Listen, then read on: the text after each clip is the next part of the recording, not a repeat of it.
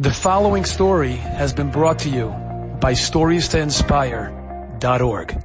Years ago, when I was at Yeshivat Itri in Yerushalayim, so one Sukkot, my brother and my sister decided that they were going to come to Eretz Yisrael to spend their Sukkot in the Eretz HaKdosha.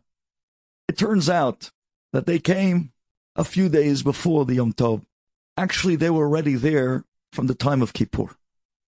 Now, what I'm about to tell you now is exactly the way we lived through it, exactly the way the newspapers in Israel, they ended up calling this later on the Ness of Hanukkah.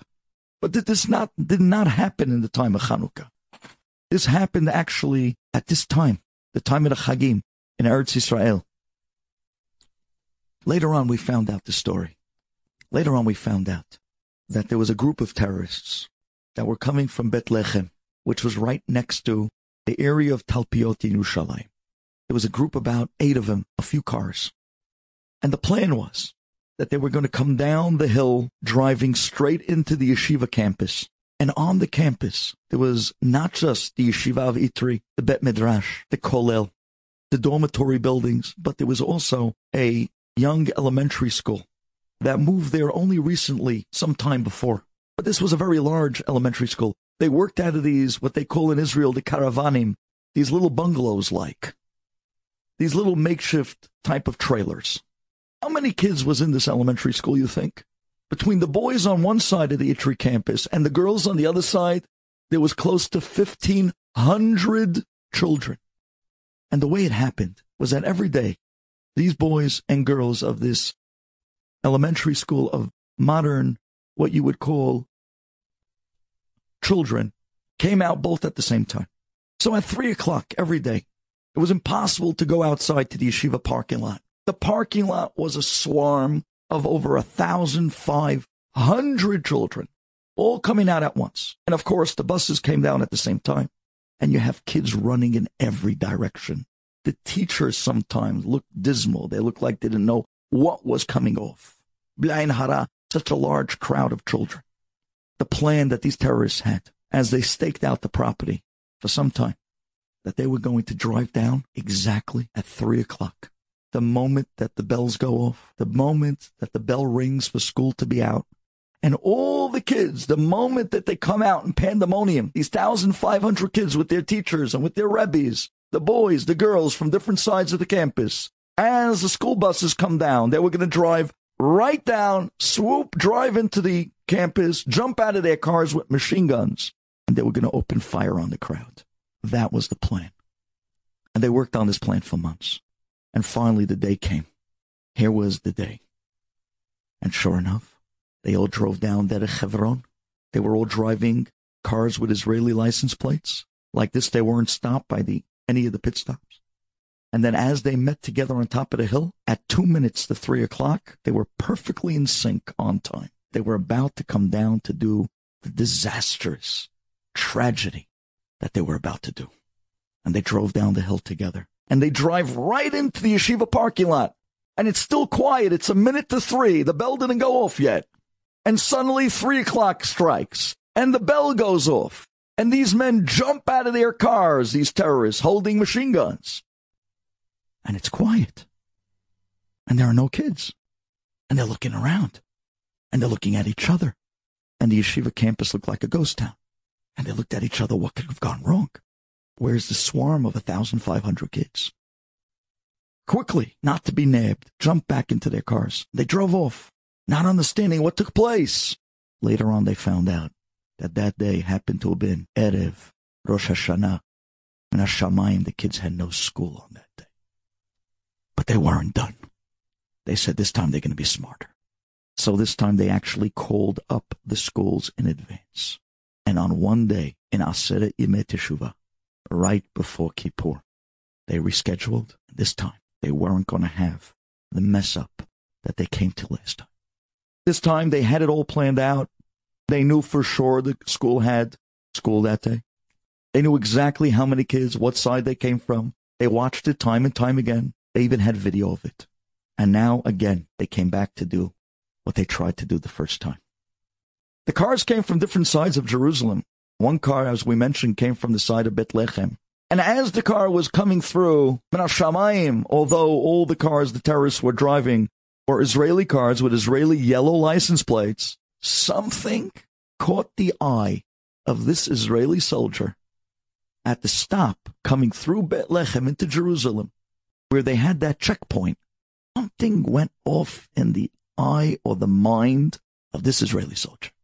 Borei Olam's Rahmanut, we all understand. Where for some reason, why he picked out this Israeli car over the hundreds that were coming through. He jumped in front of the car. He waved his arms. He asked the driver not just to stop, but till today, nobody understands what possessed this Israeli soldier to ask the driver and everybody on the inside to get out of the car. And they all got out of the car. The soldier saw that the driver began to sweat. He saw that the passengers began to sweat. Quickly, the soldier, he raised his rifle. He clocked his rifle and he pointed it at them and said, Open up the trunk. They didn't want to open the trunk. He says again, Open the trunk. They didn't want to open the trunk. He raises his voice, Open the trunk now. Right when they saw they weren't getting away with this, they all ran in different directions. The soldier ran after two guys. Other soldiers ran after the other guys. Finally grabbed them, brought them back to the car, and got them to open the trunk. Rabotai, the way the Israeli newspapers reported, there was enough C4 and dynamite there was enough automatic weapons there. Has v'shalom. Shelo neda. We should never know. We should never know. And they were caught. And once they were caught, they interrogated them. And they got out of them exactly what time and where the rendezvous point of the other three cars were supposed to meet on the top of the hill of Derech Hebron in Talpiot.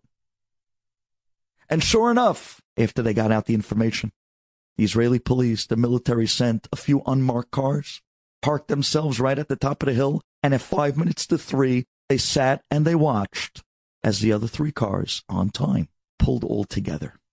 They waited for the fourth car. They waited till a minute to three, seeing that the fourth car wasn't coming. They decided to do the mission on their own. They started to drive down the hill. But at that moment already, the Israeli police, the military surrounded them, arrested them, and found in the other three cars enough ammunition. Oi, and in the background, as they were arresting these terrorists, at the bottom of that hill, you were able to hear the bells of this elementary school going off. You were able to hear the yelling and the screaming of 1,500 kids running out all together. You were able to actually see the school buses going down. They didn't even have a clue was about to come upon them. I was on the Itri campus on that day in Bet Midrash. My brother was already by me staying for the Chagim, as mentioned earlier. None of us had a clue that we were even in danger, let alone that Borei Olam was there to save us. It was only months later that the Israeli newspapers got wind of this story from the intelligence. They called it Nes Hanukkah because it hit the public on Hanukkah time, but it took place right now. We have to realize that as long as Klal Yisrael is able to get the message, this is a wake-up call where again we call out to Ahenu Bet Israel. The tefillot are vital. The Torah is vital. We can't sit back and say, oh, it's a, it's going on in Israel. What's going on in Israel is what's going on here. We're all in this together. This is not a time of heshbonot. This is a time for Klal Yisrael to act. And we need to get the message.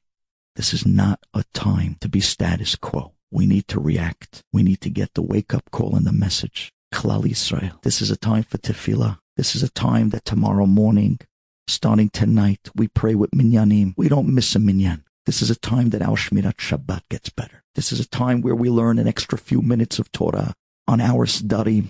And if we haven't been learning Torah, now's the time to find a shul, a daf yomi shiur, something that will enable Klal Yisrael and the Haganah, which is our Torah that's magne umatzle, to continue to protect us, so that finally we'll be zoche, that no matter what's coming at us the coming year, Borei Olam will finally shine on us.